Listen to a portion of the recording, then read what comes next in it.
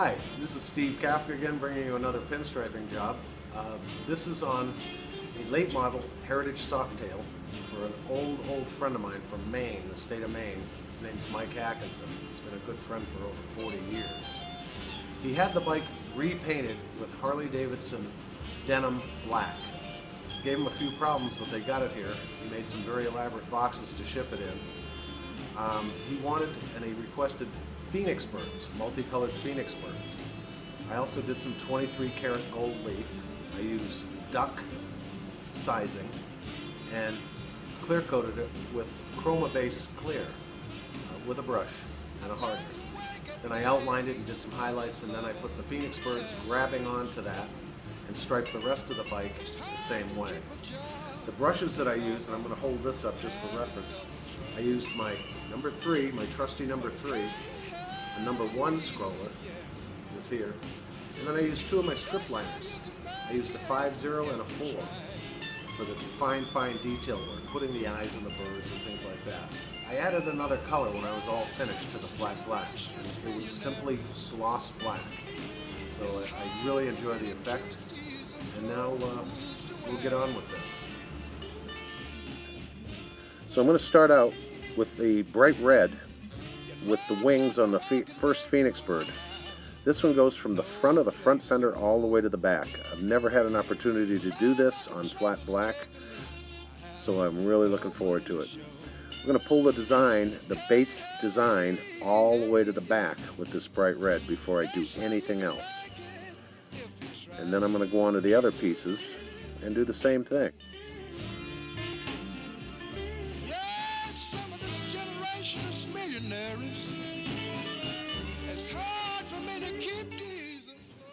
This is in my shop. It's uh, about 98 degrees with about 20% humidity. Um, it's very, very hot. But now I continue this. This is the basis for the whole design. It runs from the front fender all the way to the back of the front fender. And like I said, I haven't had an opportunity to do this yet, so I'm kind of excited to see how it comes out. This client has requested the phoenix birds, which uh, I'm pretty well known for doing a lot of phoenix birds. Sometimes I have 15, 20 colors in them. I'm going to limit this to about six colors. There it is. There's the end. This is with a number three scroll brush. Now I'm going to add a little bit of weight, which is how you do any painting. You get a base down, and then you add weight as needed. And I'm going to add some red in uh, various locations.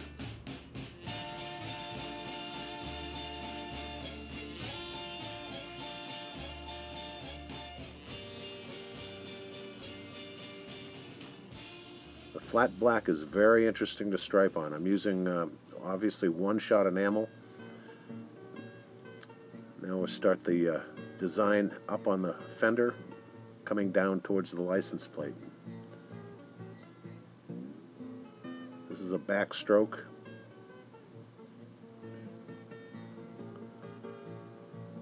And I'm going to do a design on the uh, below this, be below the tail light, that I've actually never done before. This is an original piece. This bike is going to Maine. Drives all over New England with it and he'll be showing it off. Uh, this is actual Harley Davidson paint. It's, it's called Black Denim. Uh,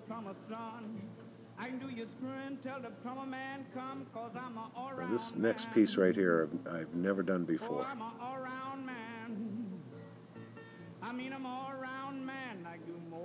It's a double loop.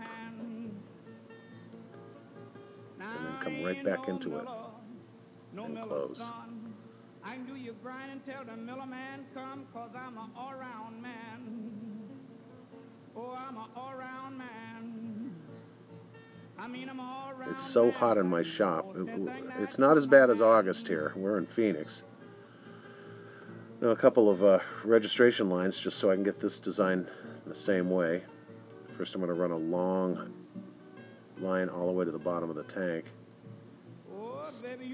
Match it up to the other side, and pull all the way down. Now I'm going to work off of this design. Once again, you go around with one color and then you come back with all your other colors. Now, here we go. tears Till the milkman come, cause I'm a all-round man. I'm a all-round man. I mean, That's that.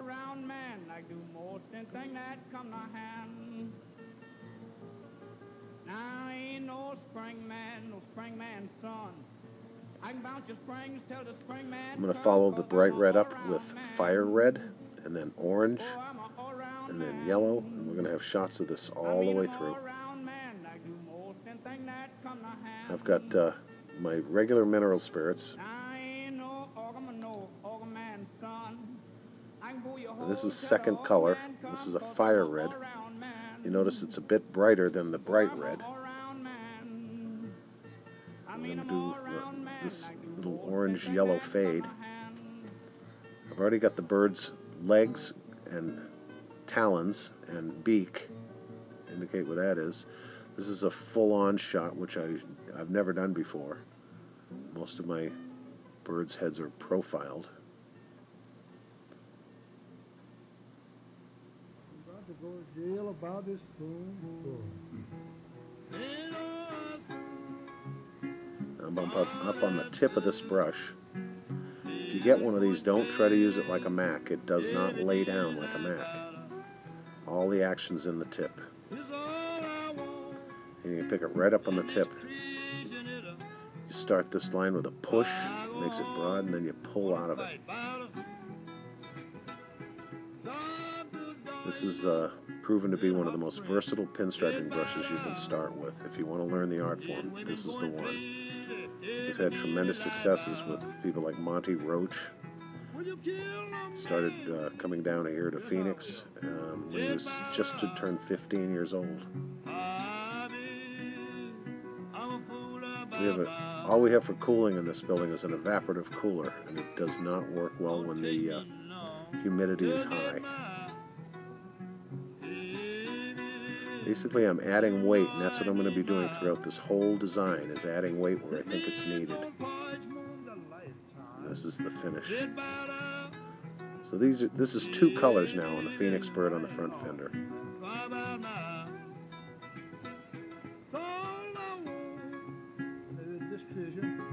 Normally you don't get to stripe like this because the front end and the frame and everything's in the way. I'm putting the second color in the uh, the Phoenix birds on the side of the tank.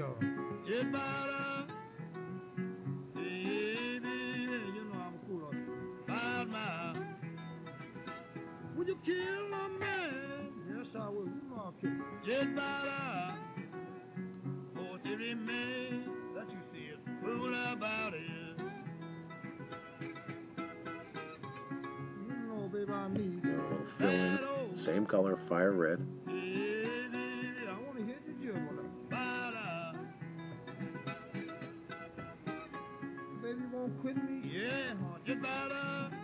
just shows you how you go around and you add the second color.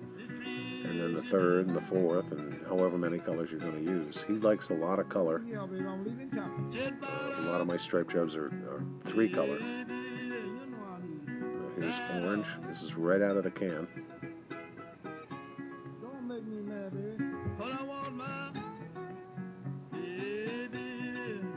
The paint that Harley uses to stripe all of their motorcycles is one shot. So all of my colors match the factory striping.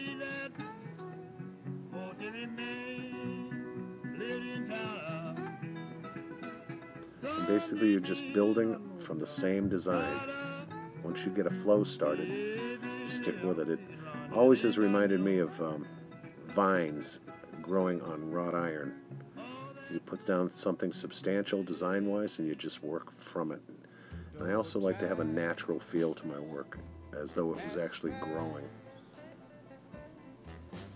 Of course, over the 40 years that I've been doing this, it, it always changes. You always come up with a little new touch for each person. This does not have to be clear coated over. Uh, it's I'm still using leaded one shot. Uh, the only additive that I put in the paint is called Smooth Stroke. We sell it on stevekafka.com. It is a gloss and flow enhancer. You'll also notice that the brush is smaller. This is the one. I've gone to the one. Much, much finer work. Much finer line. Still the same great control.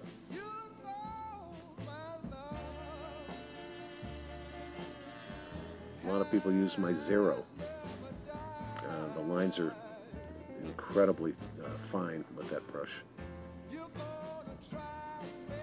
And there's three colors.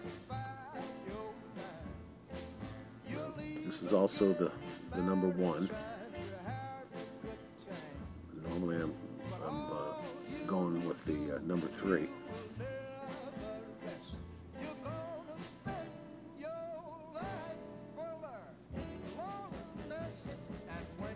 Now we're just adding color where, where it's supposed to go, where it's needed.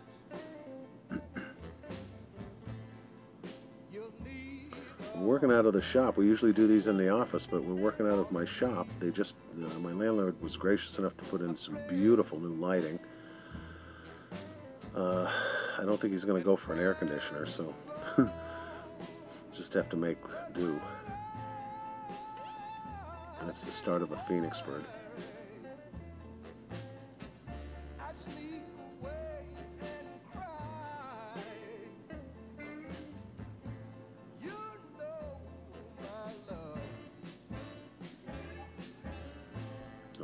These lines that I'm putting down you can build from, you can build off of them.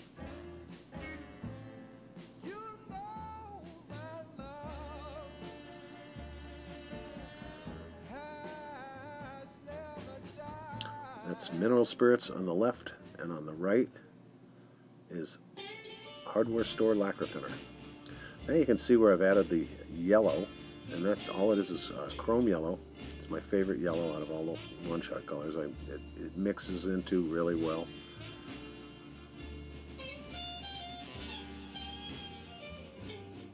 And again, I'm building from that first design with color.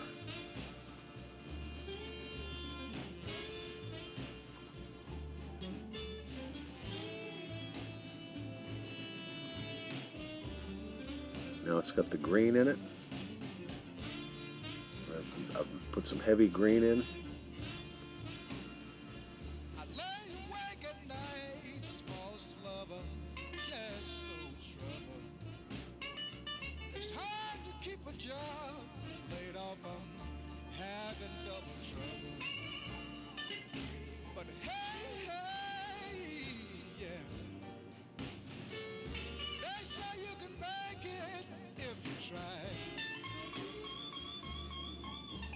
Once you try one of these brushes, especially if you watch one of these videos, uh, there's a whole bunch of my videos up that you can see, but um, once you see how you use this brush, um, we've had a tremendous amount of successes from brand new pinstripers, people that have always wanted to try it, and they try the standard brush in the industry and they get frustrated.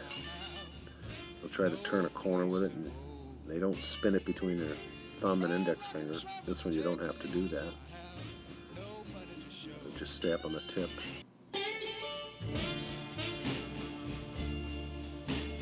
I also make a product called the Grid. I'm not using it here because it's really not necessary. There's not a lot of um, symmetry involved in the Phoenix birds. Now, this is just um, processed blue. Mixing it. That's my palette. I'm going to add that.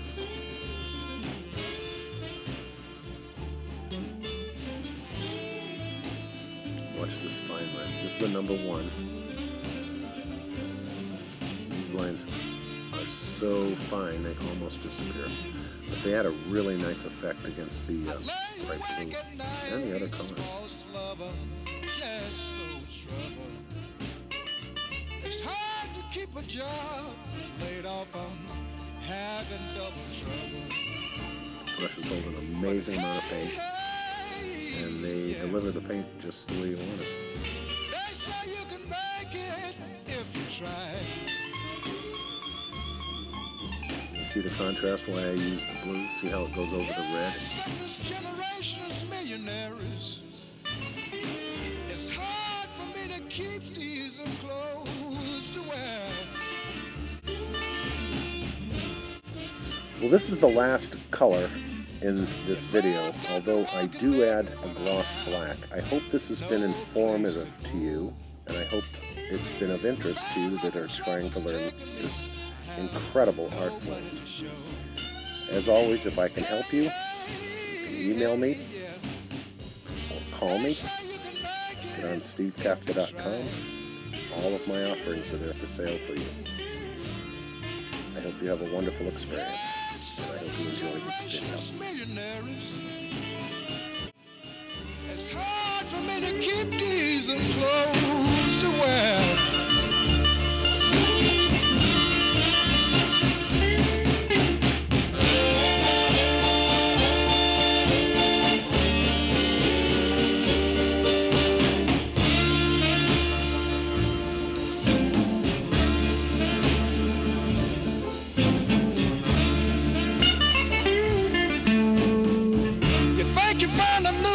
Love, remember, baby, the ones you love too. And turn things around now, baby, just like me and you. Hey, hey, to make it, you got to try.